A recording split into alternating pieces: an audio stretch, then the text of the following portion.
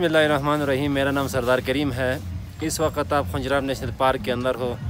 तो ये पूरी एरिया जो है खंजराब नेशनल पार्क है।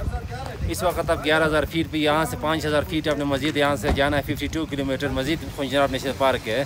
तो यहाँ पे मार्को पोलो शिप है ब्लू शिप है आईबेक्स है स्नो लेपर्ड है गोल्डन मरमेट्स है ब्राउन बेर है। ये कोई केज वाला पार्क नहीं है। जो भी जा जाएँगे इसी रोड पे तो आपको ये आईबेक्स वगैरह ये आपको नज़र आएँगे। बाकी स्नो अपना